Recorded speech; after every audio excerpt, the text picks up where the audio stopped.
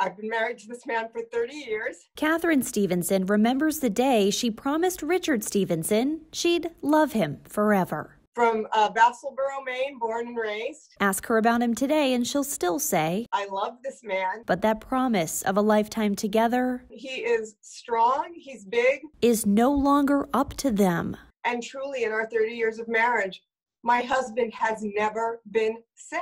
Right now, Catherine and their daughter Lexi can't hug him, can't hold his hand. It's one of those things where you really think it's not going to happen to you. They can only see him through a screen.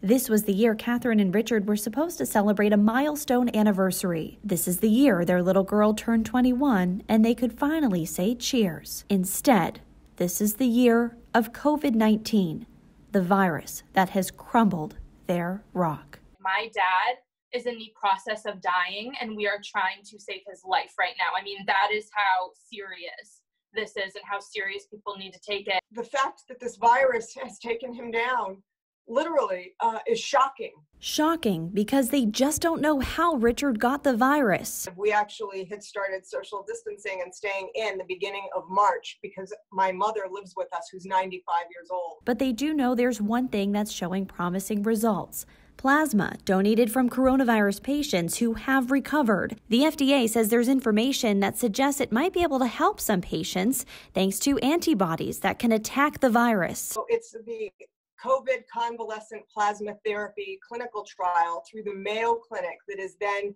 administered through the American Red Cross. While Richard has lost his voice, Catherine is renewing her vows, this time promising to get him the plasma his life depends on. Even if you don't have my dad's blood type, please go and donate because you are going to be helping somebody else's father, somebody else's mother, somebody else's loved one, and that you cannot put a price tag on that.